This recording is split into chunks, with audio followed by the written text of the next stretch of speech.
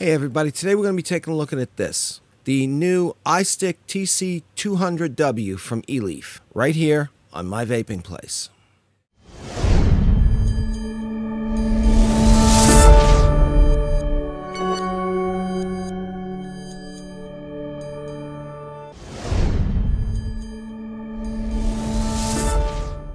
Hey everybody, nice of you to join me today. Thanks for coming. Um, okay, uh, this has been a long time coming. Main reason for that is is because I've been wanting to put this thing through its paces. I got this thing about two, three weeks ago now, and I just wanted to see what it was, how it worked, and get a really good handle on this little baby before I put up any kind of a review on it or anything like that. I really like this mod. I'm going to get that out of the way right now. But then again, I like the iStick form factor. It's one of the things I like about it is the the shape of it, the way it fits in my hand and everything else. But this is a big baby. Okay? Well, more about that when we come back up from the build cam after we take a look at this. So, sorry about the car horn out there, but some people just have to announce their presence all the time. Um, yeah, so let's go down to the build deck, take a look at uh, what you get in the box and everything else, and uh, we'll go and get more into it, and then we'll come back up here topside and uh, we'll have a little discussion about what I found. Okay? Meet you down below decks. Okay, here we are down on the build deck. Let's take a look at this wee little beastie and see how things are going. Okay? Here you have the front of the box uh, with a nice picture of the uh, mod itself on here, as well as you can see here it says upgradable firmware.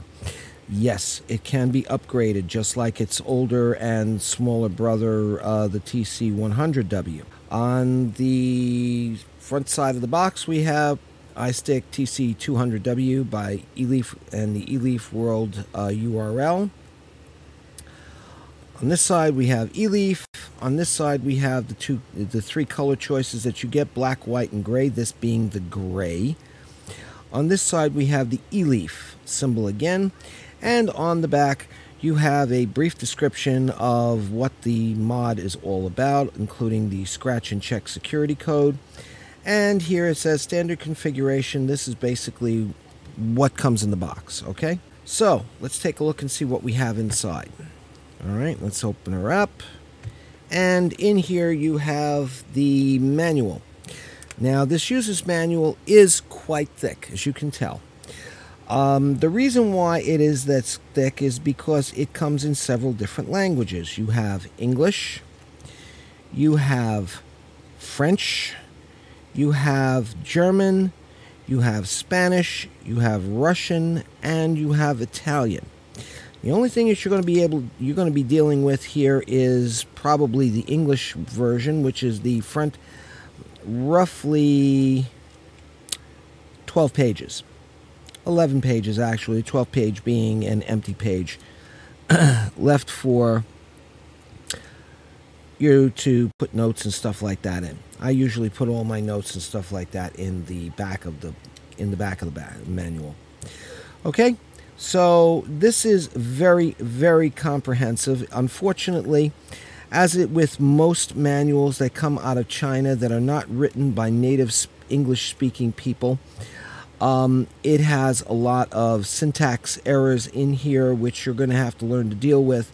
But all in all, it is quite comprehensive and it is rather good compared to some of the manuals that I've seen. On, we're going to leave that over here for the time being. You also have this warning card. Please do not use batteries with torn casings as it is a safety hazard. Oh, yes. If you have a battery that has a torn case, please, please, I beg you, go out to one of these manu- one of these battery websites pick up some of the battery wraps. They're like dirt cheap. They're 50 cents a dollar for maybe 5 or 10 of them pick them up and, and, and redo your batteries. Seriously. You don't need to turn around and have a hand grenade in your hand every time you're going to take a vape. Seriously. Battery safety is one of the most important things that you can do for your safety as well as the safety of everybody who's around you. You also have a USB cable here. Now, this is not just a USB charging cable, it is a USB charging and data transfer cable, which means that all of the pins in here are in use, not just the two center ones. I'll put that to one side. Now, in here, what's left is the subject of our little discourse today the TC 200W. Now, this is, I, I, really love this mod. This mod is really a gorgeous little mod. It fits my hand rather well. It's a little bit on the large size, but then again, I have long fingers, and well, as you can see, it fits nicely. Uh, you have your fire button here. You have your uh, wattage and temperature down, wattage and temperature up. Your mod, your mode button, uh, which says mod on here. Um, I guess they couldn't get the E on there, so what can I tell you? And then you have your USB uh, charging and data port. On this side, nothing. On this side, you have the eLeaf name and iStick TC200W. On this side, you got nothing.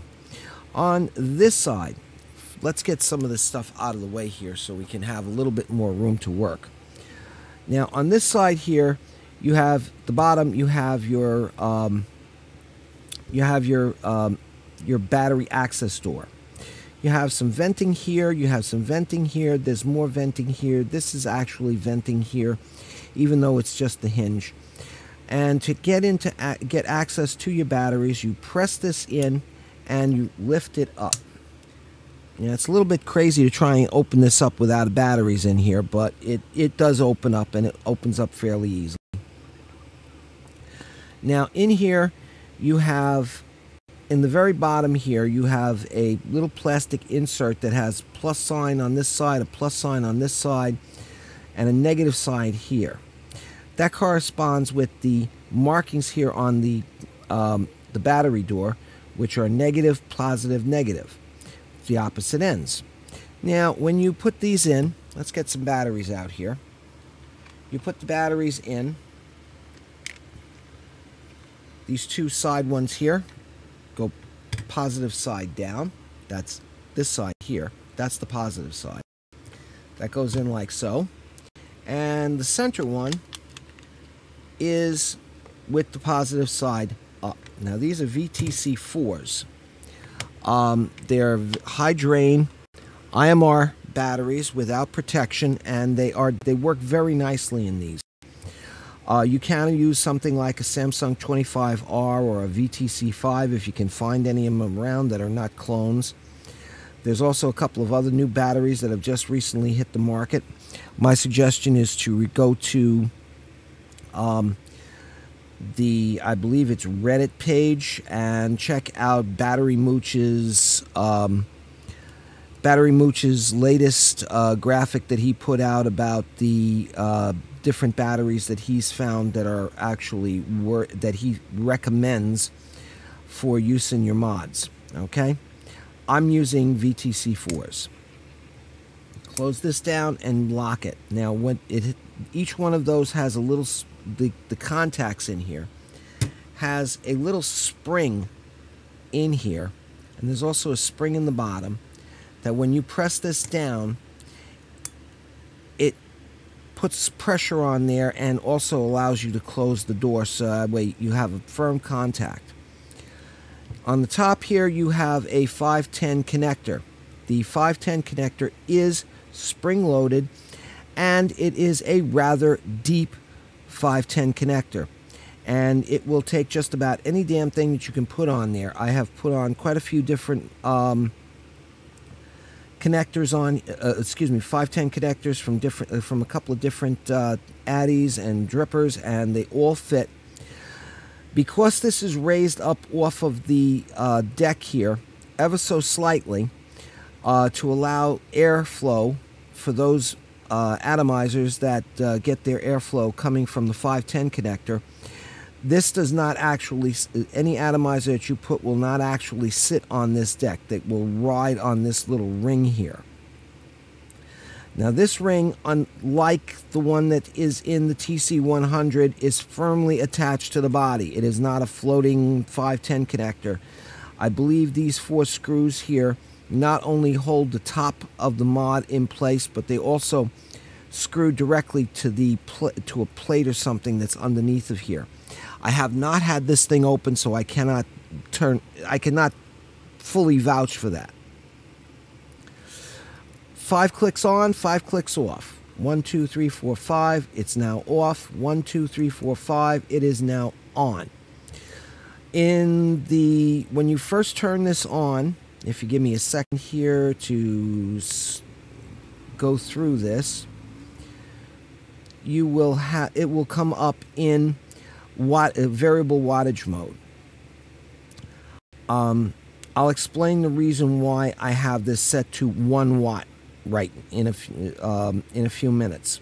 Now, the standard modes that you will have here are variable wattage, nickel for temperature control, titanium for temperature control, stainless steel, and three memory modes, which are for TCR values for your custom wires, whatever you decide that you're going to be using. If you have some some crazy funky wire that's got some crazy TCR value to it, you can actually go in here and uh, enter those TCR values and make use of those wires. All right. I'll show you how to do that right now. First off, it has to be the mod has to be in the off position. One, two, three, four, five. Now it's off. While I'm here, let me just show you that in this mode, your screen right now that I have is reading this way. If you press the plus and minus button together, it will flip the screen. So that way you can use it as a right-handed mode I prefer to keep it in the left hand mode, like so. All right. To enter your T TCR values, you hit the fire button and the negative button at the same time and you hold it down. Oh, sorry. That's the battery voltage modes. That shows you the, voltage of each one of the batteries. That's the fire and up button. You can see I really remember, I really read this manual, right? You know, well, I did read it, but I read it a while back. So, plus your fire button moves you between the M1 and the actual value, which would you would adjust by hitting the plus and minus buttons. And you can go when it's in the M1, you can go three, two, one, and change any one of these values. To lock it in, you just press and hold the fire button. Now, if I was to change those, have changed those from the standard 120, uh, whatever values I had entered in there would have been entered. Okay, so let's turn this back on again. One, two, three, four, five. If you press the fire button and the negative button at the same time, you go into stealth mode, which doesn't really work when you don't have an atomizer on there, so we're going to just shut stealth mode off. The next one that you have is your mode button, which is this one. You press and hold that down to change between your individual modes, as I showed you just before. All right, when you're in temperature mode, the negative button brings your power, your uh, temperature down, and the plus button brings your temperature up if you want to adjust the wattage that you're going to be using here to bring the wattage is used to set the value of how much wattage you want to use to bring it up to temperature and hold it at temperature. In order to make those changes, you press the mode button and the negative button that adjusts the wattage down. And in order to adjust the wattage up, you hit the mode and the power button.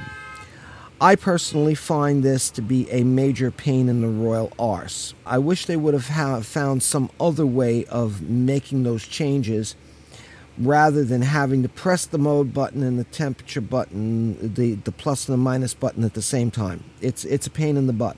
All right, when you're in wa uh, variable wattage mode, you can change your wattage by going here and pressing the power up or the power down buttons to change from Fahrenheit to Celsius or back again from Celsius to Fahrenheit, you have to take, if you're in Fahrenheit, you have to press the down button till you get to the lowest Fahrenheit reading, then press it again, and that will take you immediately to the highest Celsius reading, and then you can go up and down from there.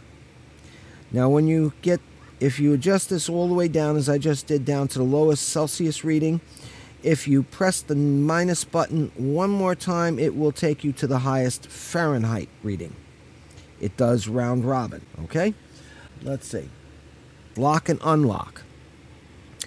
To lock your display in place, and so that way you don't have any accidentally go um, changing any of your values, you hold the negative and the plus sign down together, and that locks it. Hold it down again and it unlock. Okay, let's go here to stainless steel. Now you notice here on the ohms reading it has a little padlock. That is lock on the atomizers. That right now it's saying that it's holding a value in the device's memory of what the last atomizer's uh, resistance value was. To change atomizers, you press the the fire button and the plus button at the same time and that unlocks it. Now, if you press and hold the fire button, that will pretty much clear the memory in the device as to what it's what's in there. Now, uh, let me grab one of my little Kayfuns here. Okay, this is now has no value showing here. So let me just uh, take a second here to juice up this Kayfun. Since I pretty much juiced through it, I'm using one of my DIYs. I call it Joe's tobacco, uh, pipe tobacco, because it, it, this is a work in progress right now.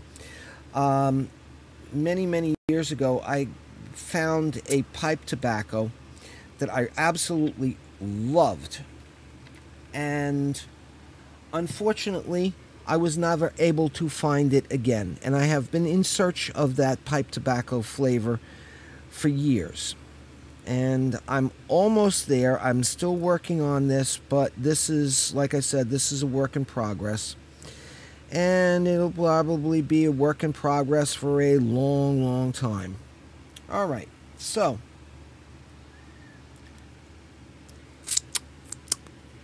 Clean off our fingers yes, as you can see, this is a fingerprint magnet. So, um, yeah, you'll see. All right, so let's put this atomizer on here. Now, it's reading 0.58 ohms. Press that. Now it's still reading 0.58 ohms. So we hit um, power and plus up at the same time.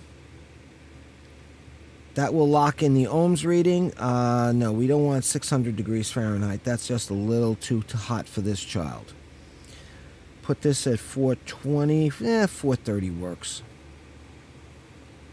Okay, let's see what we got.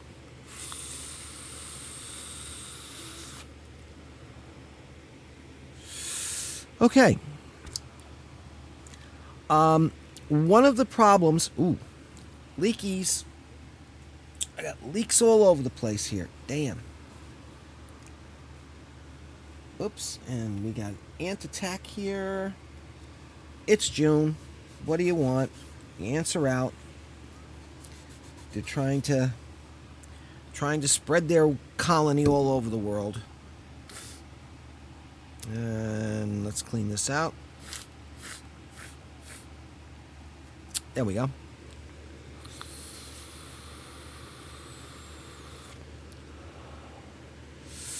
Okay. Um, I have had one major issue with this mod since I've been using it. Mm. Still got juice all over this thing. Um, the major issue that I've been having is that there are some times when I will put a new mod on here excuse me, a new atomizer on here. And when I put that atomizer on, I do go through the pro- uh, procedure of um, initiating the new uh, the new atomizer onto here and locking it into place, and it will. Uh, it basically jumps out of temperature control mode into variable wattage mode. Now, according to the manual that's in here, it will do that if the resistance of the atomizer is above 1.5 ohms in temperature control. The problem is is that this atomizer that you see here, as you saw what it said, it says a 0.58 ohm coil in here. Now, a little earlier, I was basically filming this thing, and it was constantly jumping in and out. Unfortunately, I don't have the video of that left. Otherwise, I would put it in here at this point. And besides, it was way too long to be for this. I'm trying to cut this thing down some and that is one of the major problems. Now, one of the things that I, one of the issues that I had with the version one of the software on the TC100 was that it was doing the same damn thing. This is version one of the TC200 firmware. I believe that iStick is using the same, well, maybe not physically the same board because the buttons are in a different configuration and the micro USB port is on the side here of this, on this particular one, as opposed to being on the bottom on the TC100. But I believe electrically and, and, and logically, this board is exactly the same as that of the TC100. And I believe, I firmly believe that this mod needs to have a firmware update put out by eLeaf forthwith to address this issue. Now, this mod was not sent to me free for the purpose of review. I bought this and I like it a lot. And I like the form factor. And for me, this mod is a very comfortable home mod. It's not a mod that I take out with me, though I have taken it out on a couple of occasions. It's not as comfortable to use as the TC100 is. Simply because of the size and bulk of it, it's a lot easier than using a, trying to use a Reuleaux. From what I've heard from some of the people who have Reuleauxs, but it is still a big boy. And because this is my home mod, I'm not so concerned about it. But if this was my going out and about mod, I would have a lot more concern about it. Simply because of the fact that this screen that's on here, this OLED screen on here, just like the OLED screen on the TC100, is very hard to see in very bright sunlight. 12 o'clock, 1 o'clock in the afternoon, sun directly overhead, you uh, can't see diddly squat with this thing. Okay, you have to find some shade and hopefully you'll be able to discern what's going on. And because this thing does slip out of temperature control and into variable wattage, that is the reason why when you saw earlier, I had this thing set to one watt. That is so I would not burn the wicking in here and also to let me know instantaneously that it has slipped out of temperature control and into variable wattage. So that way I can try and find some place where I can actually see what's going on and take care of the issue and get back to vaping. So yes, this has some issues. Issue one being the wattage adjustment, having to hold down the mod button and then making the adjustments from there, and it's scrolling so fast that you generally will almost always overshoot the wattage that you're looking at it, then wind up undershooting, and then having to turn around and adjust it one one watt at a time until you get to where you want to get it to. Issue two, the big one, jumping out of TC and into variable wattage mode. That to me is the big one. Okay, and we'll discuss more about this when we get back topside and we can talk a little bit more comfortably. All right, so I'll meet you back topside. Talk to you in a few. Hey everybody, nice of you to join me back here topside. Let's have a little discussion here about this uh, device. First off, let me reiterate the fact that I purchased this device for my own, from my own pocket. The reason why I did was is because I like the form factor on this device and I like the way the device feels in my hand. I had a chance to hold this device at one of the local brick and mortar shops and it just felt right. The the shape of it, the fact that where the button the fire button is, even though it's heavy little mother, uh, because it's got the three 18650s in there, it still felt good. It still felt right in my hand. And because it is a large device, I basically keep it here at home as my my my home device.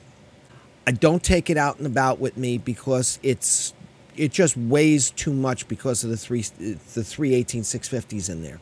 Also, because of the following issues. The wattage adjustment. Now, the wattage adjustment on both the TC100 and the TC200 are identical. As a matter of fact, there's just too many similarities between the two. I believe eLeaf took the same chipset and instead of using the exact same physical form factor, changed the form factor slightly to accommodate some of the issues that some of the other reviewers have been having, namely the fact that on the TC100 you have the micro USB charging slash data cable on the bottom and you have to lay this thing over in order to be able to change it, uh, ch excuse me, charge it. Oh boy, I'm doing good today. Yeah. Um, and on the 200, they put the micro USB port right on the side of it. Good thing. Thank you, eLeaf. Uh, the button layouts on the 200 are completely different than the button layouts on the uh, 100 yeah, other than those physical changes, I believe that it's the same exact chipset. And I'll explain the reason why I'm saying that in a minute.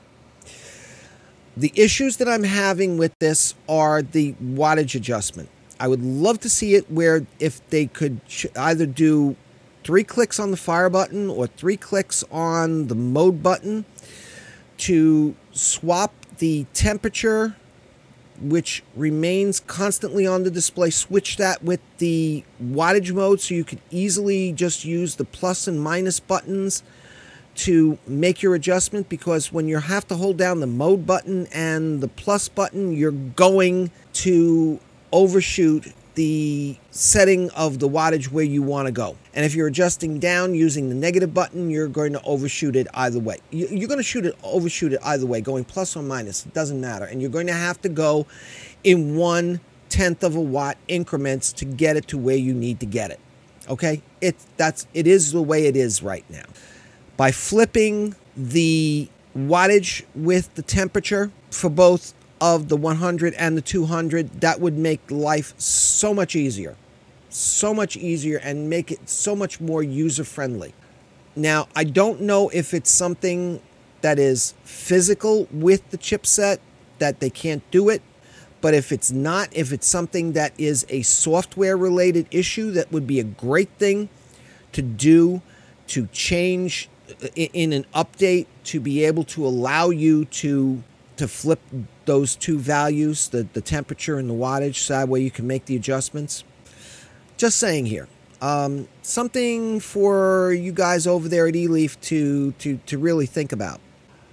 Next thing, screen brightness. Now, by and of itself, the screen brightness is can be nothing but a pain in the ass, or it can really turn around and be become an issue.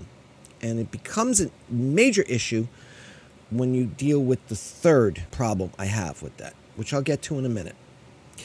Now, the screen brightness, for those of you who don't wear glasses like I do, and like a lot of other people do, might not be a problem. But when you're out and about in bright sunlight, it is damn near next to impossible to see what that screen is saying you need to find a shady doorway or uh, under a tree or something like that, or pop into a store to lower the ambient brightness of your environment in order to be able to see what's going on. It is what it is. When you're inside and you're out of the bright sunlight, it's really not an issue. But when you're in bright sunlight, it is a major issue.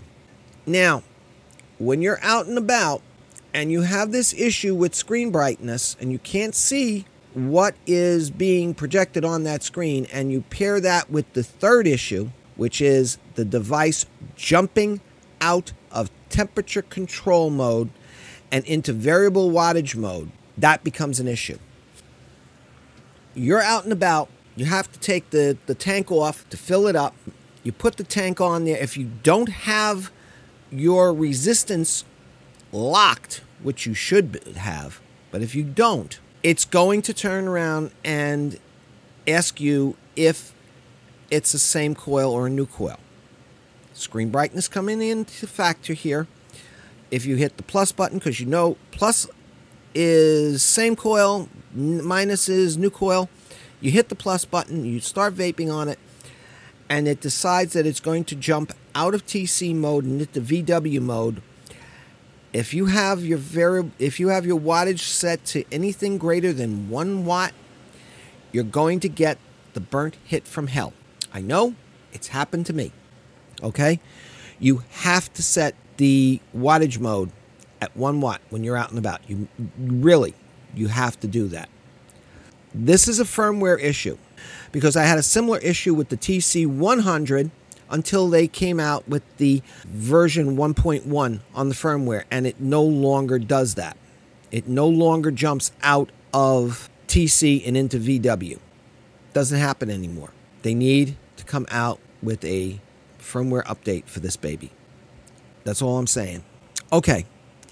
Now, as with any device, be it a mod, a tank, whatever, it is up to you to decide if you can live with the individual peculiarities of the device.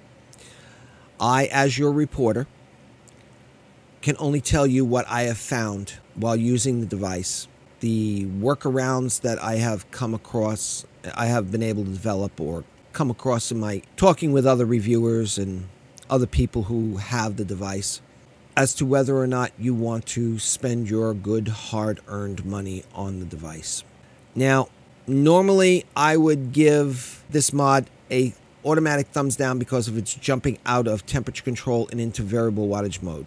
It doesn't happen all the time, only sometimes. And I have not been able to figure out exactly what the commonalities between each one of those times is, other than the fact that A, it's unlocked B, I have previously been using the tank, taken it off, and then put it back on again. And as I said, the ohmeric value has not been locked. Then it will do that. Or if I take off one tank, put on another tank, and the wattage, excuse me, the ohmage is unlocked, then it will happen again my suggestion to you is if you like this device, if you want to get this device, and it is relatively friendly compared to like the Reuleaux, the form factor on the Reuleaux, I like the form factor on the Reuleaux, I like the form factor on this. Both of them are very easily usable, they fit the hand very nicely. But for carrying ease, the TC200 is a little bit better because it's it's flatter, it's not as wide it fits on the hip a little bit nicer. So if you're interested in this or the, the Reuleaux, um, I would suggest this one, but I would suggest not getting this until such time as eLeaf comes up with a firmware upgrade for it. And as I said before, it would be nice if they would include the temperature wattage flip by some combination of button presses, etc. The easiest thing would be press three times on the mode button and it automatically flips over between one and the other. That's all I got for you. And with that, I am going to say goodbye. You have to make your decision as to what you want to do. So take care. God bless. May the road rise to meet you. May the wind be ever at your back. May the Lord hold you in the hollow of his hand, and may you be in heaven a half an hour before the devil knows you're dead. Take care.